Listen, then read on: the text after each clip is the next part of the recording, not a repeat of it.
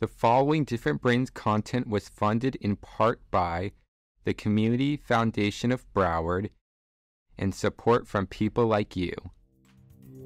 Hi everyone, welcome to Different Brains. I'm your host Nick, and you're watching the Week in Neurodiversity. In this episode, we'll be looking at an exciting new method of treating Alzheimer's disease. Surgery, even with the benefits of modern medicine and technology, is risky.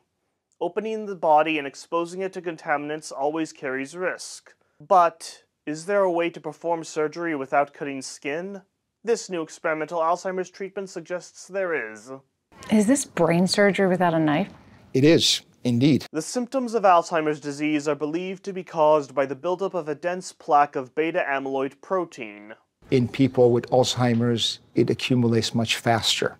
And over time, these protein aggregates, we call them plaques, like plaques in the arteries, they keep on accumulating and impacting function. The FDA has recently approved two different drugs to help clear this plaque, but they work slowly, taking 12 to 18 monthly doses before effects can be noticed.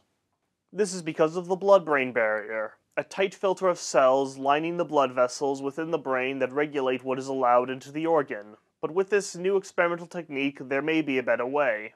After receiving an IV solution filled with microscopic bubbles, patients wear a special helmet that uses ultrasonic sound waves to vibrate the bubbles, opening the barrier. This patient underwent antibody infusion therapy plus ultrasound. The ultrasound opened the blood brain barrier and the antibody went in faster and cleaned out the plaques. I mean, my jaw dropped. I'm like, whoa. I, I was actually even in the clinic seeing patients, and the PET scan technician called and said, oh yeah, there's a big change. I'm like, how do you know? We have to analyze it. He's like, no, you can see it on the screen.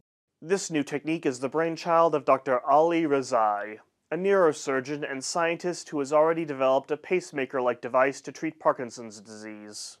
With Dr. Rezai demonstrating that ultrasound can help clear plaques faster and slow the progression of Alzheimer's, his next step is to see if it can restore the damaged areas and reverse the effects of the disease. We don't know if it's going to reverse the damage to the brain because Alzheimer's, the underlying cause is still occurring. So we have another study that we're looking at with ultrasound. First, clear the plaques, then deliver ultrasound in a different dose to see now if we can reverse it or boost the brain more for people with Alzheimer's. That's all for today's episode. What do you think of this new experimental technique?